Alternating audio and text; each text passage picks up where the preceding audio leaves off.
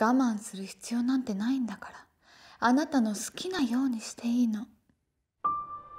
君は他のスタッフとうまくやれてないようだね。職場を乱してるんだよ。あんたどういうつもりよ！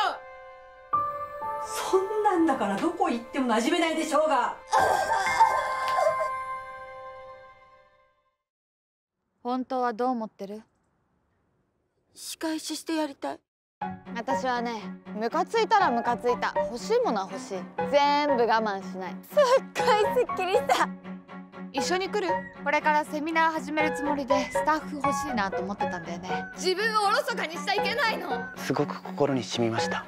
僕を雇ってもらえませんか？待ってます。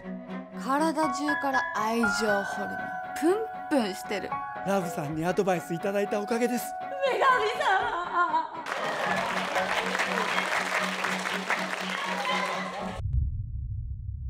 自分の人生は自分で守らなくちゃいけないの。自分を脅かすものは力ずくでも排除しなくちゃいけないの。せっかく手に入れた新しい人生手放したいの。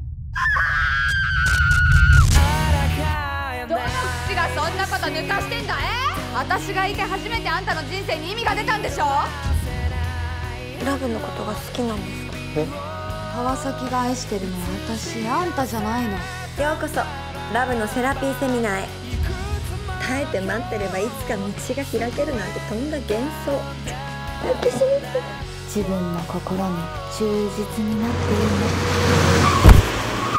グッジョブじゃん。あんた人殺した何のために生きてるの？女神様。女神様。女神様